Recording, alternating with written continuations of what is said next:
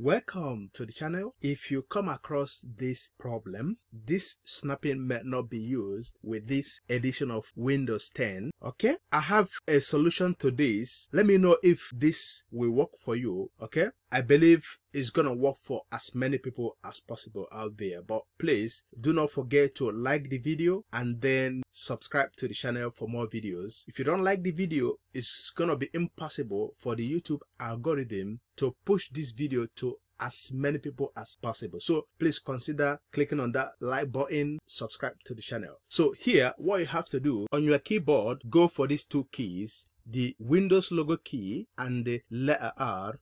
Okay, let's go for that. That will give us this run dialog box. Okay, so here, go type net netplwiz. I will go for that.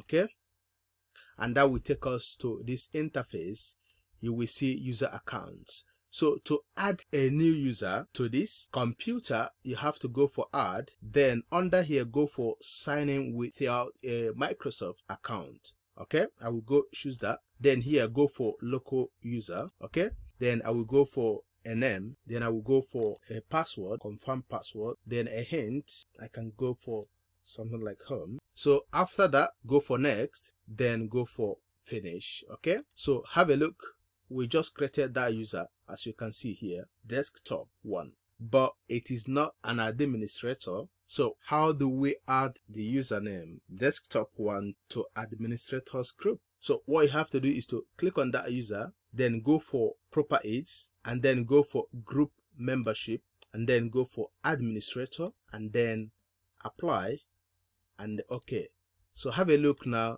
Desktop one is now one of the administrators as you can see. Okay. So if I want to strip desktop one the role of administrator, okay, what I have to do is to click on that and then go for proper aids and then go for group membership. I will go for standard user, then apply, then okay. So right now you can see that we have assigned this to the users group. So if you want to delete this user or let's assume that I want to reset the password, I will click on that user again, go for reset password and then go type a password here. Then if you want to delete a user, just go for the user and then go for remove and then yes, as you can see that user has been removed. So if you want to add more information to a user, just click on the user, then go for properties and then under general you can add the name of the user and the other you know information you would like to include. That is it for this video. Please do remember to like the video so that the